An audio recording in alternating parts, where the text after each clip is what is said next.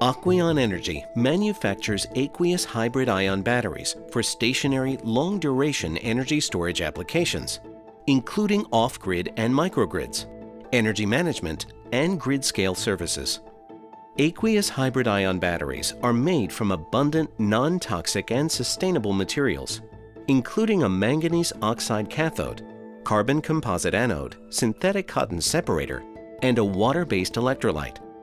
Aquion's continuous flow manufacturing process begins with inexpensive industrial-grade raw materials. The anode and cathode powders are blended and processed to prepare them for the pellet presses.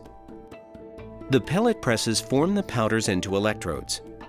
The electrodes, separators, and current collectors are then assembled into battery casings using proven vacuum pick-and-place technology, currently in wide use in the food packaging industry.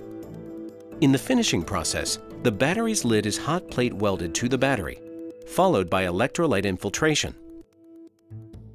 Individual batteries are stacked and wired in series to form the S-line battery stack, Aquion's fundamental system building block. Stacks can be connected in series and parallel to create any number of system configurations. 12 stacks are configured to form Aquion's M-line battery module.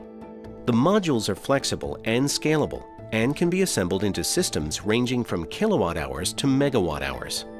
Aquion recently completed the build-out of their state-of-the-art 350,000 square foot facility in southwestern Pennsylvania.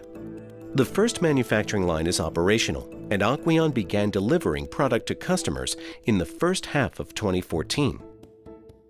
Full capacity on this line will approach 200 megawatt hours per year and the factory is currently sized for five of these production lines.